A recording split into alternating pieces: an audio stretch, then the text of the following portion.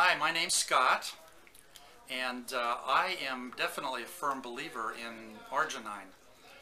Um, I'm a registered nurse by trade, have been for about 36 years. Long time, probably too long. But I have a family history of cardiovascular disease. My father died too young. My, all of my aunts and uncles died too young. My grandparents died too young. And um, I don't want to die too young. About a year ago, lo and behold, my doctor announced to me that she thought I had cardiovascular disease. Um, surprise, I was eating all the wrong foods. Uh, I was uh, stressed out at work. Um, all of the all of the wrong things were happening to me at the time. She recommended an angiogram. I said, no, no, no, that's invasive. Uh-uh. Treadmill I'll go for. Angiogram, no way.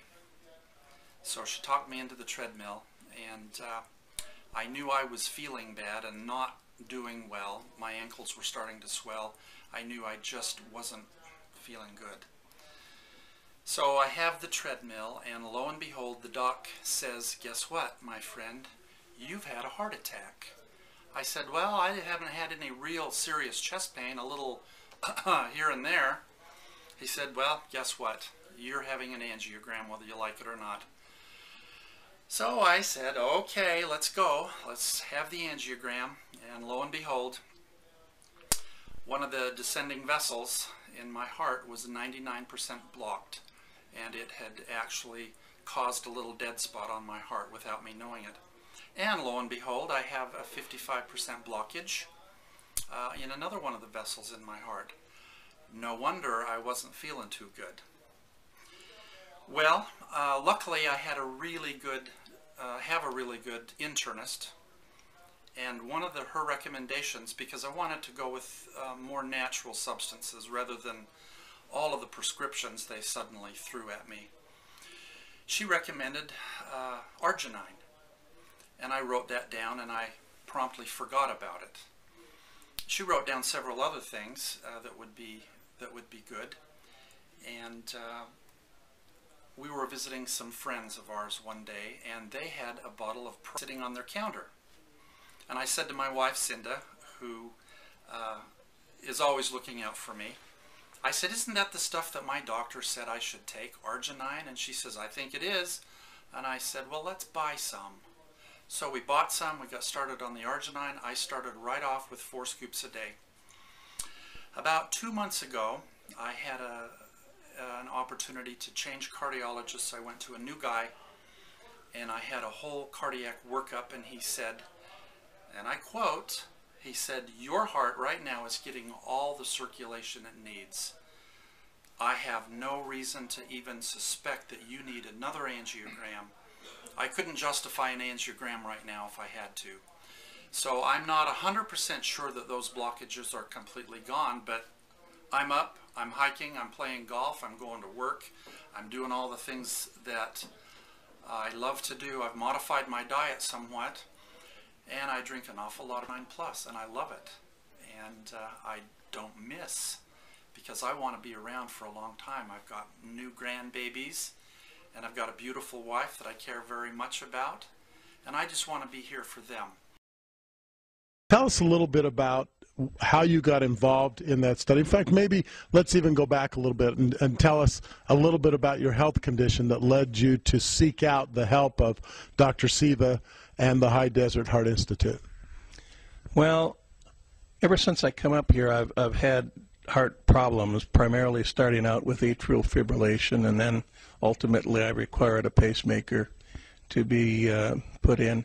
Um, what happened is in December, actually December 20th to be specific, of 2008, I had a, a renal failure, congestive heart failure, and pacemaker failure concurrently. And it necessitated my being sent to the hospital. Uh, paramedics came, and I went into the hospital, and uh, they ultimately decided they were going to have to do surgery and it was supposed to be very dangerous because I'd been also because of my atrial fibrillation. I'd been taking blood thinner, so taking and doing surgery at that time was going to be very dangerous. They told my wife to to make that decision for me because I wasn't able to do it at the time I was really out. And uh, she did. She thought, after listening to everything, the best thing for me to do is go ahead and try the surgery, which they did. And uh, that went successful. Uh, the surgery was fine. Uh, after I got out of the hospital, for the next five to six weeks, I was in the hospital about two to three days minimum every week as a result of congestive heart failure is basically was the real primary reason is that nothing was happening. I had been taking all the medications possible. I was medically managed to the maximum extent. And finally, I gave up. Quite honestly, I'd had enough. I got weak. I was on oxygen 24 hours a day, seven days a week. I couldn't walk 15 feet without stopping. I couldn't even open up a bottle of water. My wife used to have to open the bottles of water for me. I was very concerned also with medical costs, and I was concerned that I didn't know what these bills were going to be because I hadn't received them yet, but I didn't want to empty the well out, so to speak, and and I didn't want any good money spent after bad, if you will.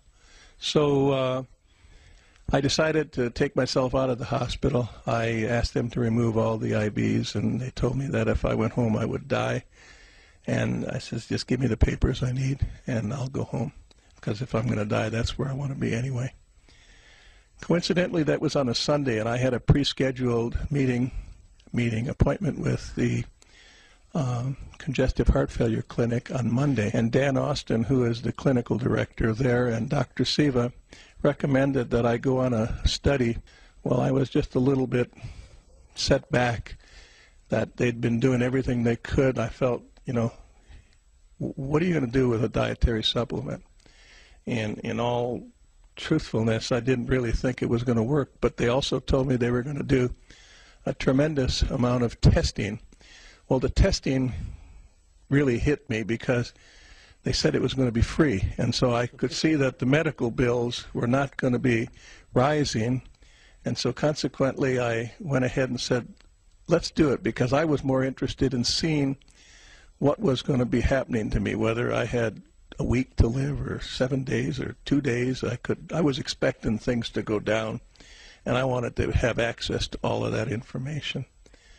So I did what they said, and uh, there were 35 people total and uh, in a few short weeks, I began to actually feel better.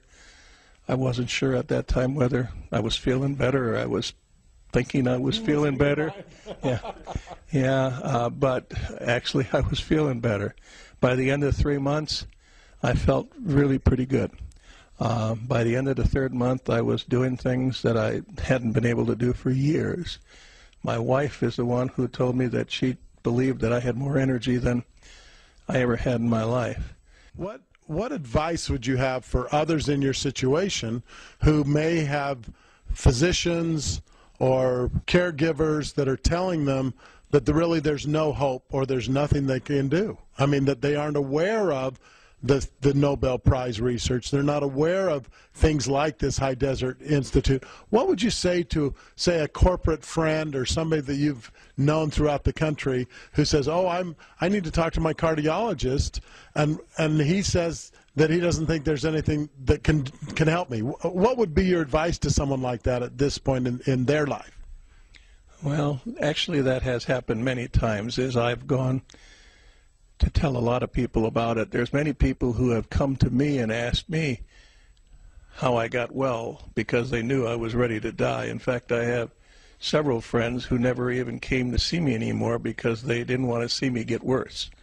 Um, one of my dear friends, John Snyder, is one who saw me from day one and continued to see me, but he, as much as I know that we like each other. He didn't want to come to see me anymore because it was just too hard for him to see me going down. So basically, what I've told people is that, hey, this worked for me. I've read everything, I've researched it. They know me. I'm very, I do an extensive research on everything that I do. And a lot of them trusted my judgment. And once they trusted my judgment to get on it, they went on it. They found out from themselves, and they were telling other people about it and coming back to me. So uh, there hasn't been anybody who hasn't taken it that hasn't felt well. The only advice I really have to get back to your question is I'd try it. I, I think that if you have nothing else but if you're in bad shape, try it because you don't have anything to lose. If you're in good shape, try it because I have a grandson who is training to be a Navy SEAL.